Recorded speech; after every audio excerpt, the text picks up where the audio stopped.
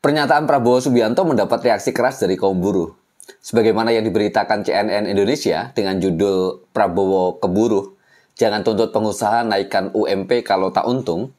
Dalam berita itu disebutkan, bakal calon Presiden Prabowo Subianto mengungkapkan pandangannya soal buruh yang setiap tahun selalu menuntut pengusaha menaikkan UMP. Ia meminta buruh untuk tak selalu menuntut pengusaha menaikkan UMP mereka, terutama bila perusahaan tempat mereka bekerja sedang buntung. Jangan kau tuntut pengusaha naikkan UMP kalau tidak untung. Jangan mencoba mencekik pengusaha. Kalau pengusaha ditekan, dia bisa pindah ke negara lain. Katanya dalam acara Sarayasehan 100 Ekonomi Indonesia di Menara Bank Mega pada hari Rabu 8 November 2023. Prabowo mengatakan kalau terpilih menjadi presiden dalam Pilpres 2024 mendatang, ia akan berupaya untuk memberikan pengertian kepada buruh agar tak selalu menuntut kenaikan UMP. Menurutnya, pengertian akan ditanamkan terkait program subsidi yang sudah diberikan pemerintah kepada kaum buruh agar kehidupan mereka lebih ringan. Kita bicara ke pemimpin buruh, kesehatan tidak bayar, subsidi listrik, BBM, sekolah tidak bayar, kita akan kasih makan siang gratis. Kemudian saudara-saudara, kita harus berani seperti negara lain, angkutan di kota-kota besar kalau perlu subsidi 100%. Itu yang dikatakan Prabowo dalam pertemuan dengan 100 ekonom. Apa pandangan kalian terkait dengan pernyataan tersebut? Yuk kita bahas di sini.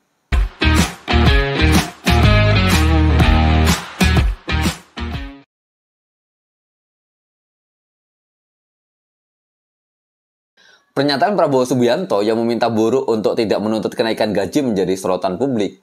Presiden Konfederasi Serikat Pekerja Indonesia atau KSPI yang juga Presiden Partai Buruh Said Iqbal menilai jika pernyataan Prabowo keliru dan tidak berpihak pada kepentingan kaum buruh di Indonesia. Menurut Said Iqbal, tidak benar dan keliru pernyataan dari Prabowo yang mengatakan bahwa tuntutan buruh untuk menaikkan upah minimum setiap tahun tidak dibutuhkan. Permintaan buruh terhadap adanya kenaikan upah merupakan hal yang lumrah terjadi di seluruh dunia yang mencontohkan negara-negara seperti Amerika, Jerman, Inggris, bahkan Malaysia juga melakukan hal yang sama. Bung Said Iqbal ini juga mengungkapkan bahwa serikat pekerja di semua negara pasti berjuang untuk menuntut kenaikan upah secara berkala. Hal itu dilakukan dalam rangka untuk menghadirkan kesetaraan ekonomi bagi kaum buruh. Kenaikan upah minimum setiap tahun juga diperjuangkan oleh buruh di berbagai penjuru dunia, termasuk di dalamnya oleh Partai Buruh ini adalah upaya untuk menyesuaikan terhadap kenaikan harga-harga barang atau inflasi dan melakukan redistribusi terkait dengan pertumbuhan ekonomi agar pemerataan bisa terjadi. Lebih lanjut, Bung Iqbal juga mengatakan bahwa upah minimum merupakan jaring pengaman atau safety net agar buruh tidak terjerumus ke dalam jurang kemiskinan. Ketika memasuki dunia kerja, tentu saja keinginan dari pengusaha adalah memberikan upah semurah-murahnya kepada kaum buruh. Nah, dalam kaitan dengan itu, upah minimum menjadi penting sehingga dia harus ditinjau setiap tahun untuk memastikan agar upah yang didapatkan oleh kaum buruh bisa memenuhi kebutuhan hidupnya.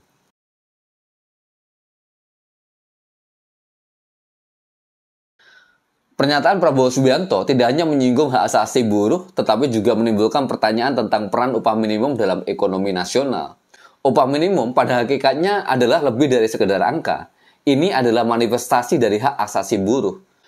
Konvensi International Labour Organization atau ILO tidak hanya menetapkan upah minimum sebagai standar global, tetapi juga sebagai fondasi bagi keadilan ekonomi. Upah minimum yang adil mencegah eksploitasi dan menjamin standar hidup yang layak untuk jutaan pekerja. Mengamati praktik global, banyak negara maju menunjukkan bahwa upah minimum yang wajar dan adil Tentu saja dengan adanya kenaikan berkala tidak menghalangi pertumbuhan ekonomi. Studi kasus dari negara-negara ini dapat memberikan pelajaran berharga tentang bagaimana mengelola upah dan pertumbuhan ekonomi secara paralel. Menggantikan kenaikan upah minimum dengan subsidi pemerintah adalah solusi yang keliru. Subsidi dapat membantu meringankan beban hidup, namun tidak dapat menggantikan kebutuhan akan penghasilan yang stabil dan adil. Upah minimum dan subsidi adalah dua elemen ekonomi yang berbeda dan harus dikelola secara terpisah untuk menjaga keseimbangan ekonomi yang sehat. Upah minimum tidak hanya tentang keadilan sosial, ia juga berbicara tentang ekonomi yang cerdas. Upah yang layak dapat meningkatkan daya beli yang pada gilirannya memacu pertumbuhan ekonomi. Kenaikan upah ketika dilakukan secara bertanggung jawab dapat meningkatkan permintaan konsumen yang menjadi pendorong utama pertumbuhan ekonomi di luar angka dan grafik ekonomi, ada aspek manusiawi dalam kenaikan upah minimum. Upah yang layak mempengaruhi moral dan motivasi para buruh.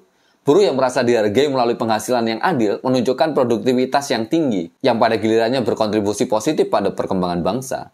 Karena itulah penting bagi kita untuk mengakui bahwa upah minimum bukanlah beban bagi ekonomi, tetapi sebuah investasi dalam kesejahteraan sosial dan pertumbuhan ekonomi.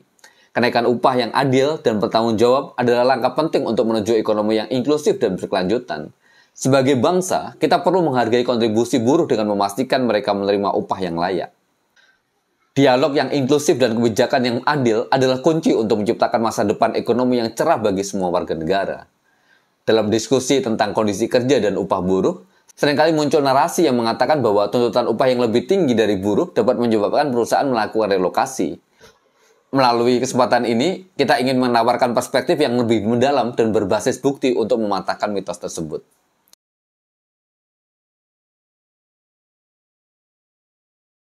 Kesalahpahaman bahwa tuntutan upah buruh akan secara langsung menyebabkan perusahaan melakukan relokasi sering kali didasarkan pada pemahaman yang sempit tentang ekonomi global. Sementara upah memainkan peran dalam struktur biaya perusahaan, keputusan untuk relokasi dipengaruhi oleh berbagai faktor yang lain.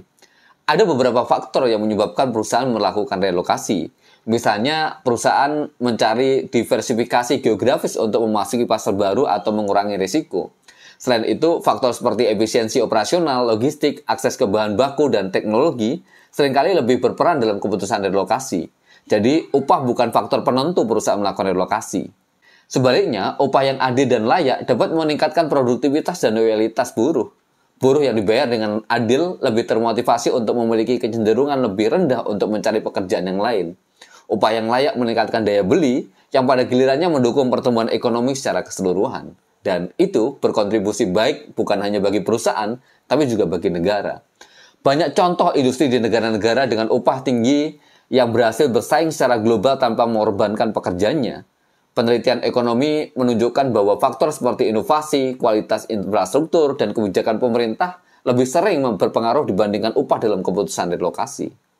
Karena itu, kita menyerukan dialog yang lebih berimbang dan berbasis fakta tentang relasi antara upah buruh dan keputusan bisnis penting untuk mempertimbangkan semua faktor yang mempengaruhi keputusan ini dan tidak mengeneralisasi atau menyederhanakan permasalahan yang kompleks ini. Tentu saja kita berharap dapat menyumbang perspektif berharga dalam diskusi tentang upah buruh dan dinamika industri global. Penting bagi kita semua untuk memahami bahwa kesejahteraan buruh dan keberlanjutan bisnis harus berjalan seiring dan sejalan. Bukan hanya buruh yang selalu dikorbankan.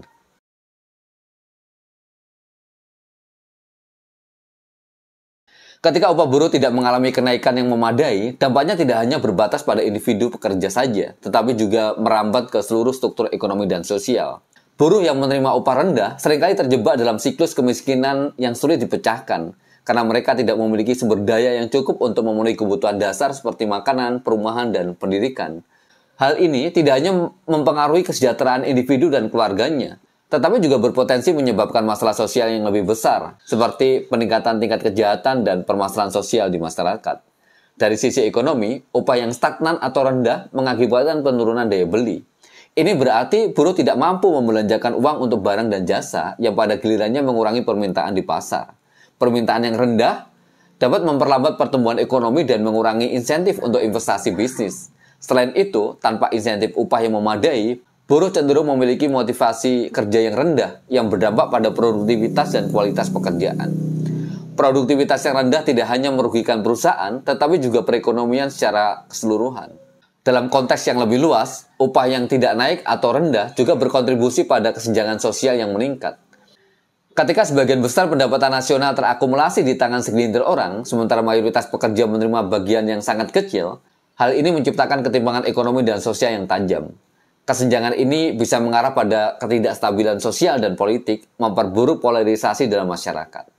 Dengan demikian, penting bagi pemangku kepentingan untuk mempertimbangkan dampak jangka panjang dari upah yang stagnan dan bekerja menuju solusi yang menghormati hak buruh untuk mendapatkan upah yang adil dan layak. Ini bukan hanya masalah keadilan sosial, tetapi juga keberlanjutan ekonomi dan stabilitas sosial. Saya Kahar Esyayono, sampai bertemu kembali dalam bicara buruh berikutnya. See you.